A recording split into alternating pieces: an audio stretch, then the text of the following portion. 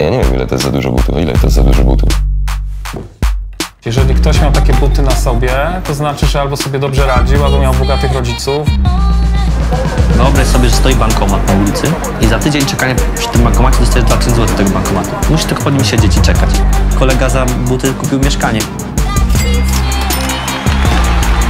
Były buty, w których człowiek chodził i buty nagle stały się czymś więcej niż to, w czym chodzisz, nie? Że jakby budziły emocje. Dziękuję, miłego dnia.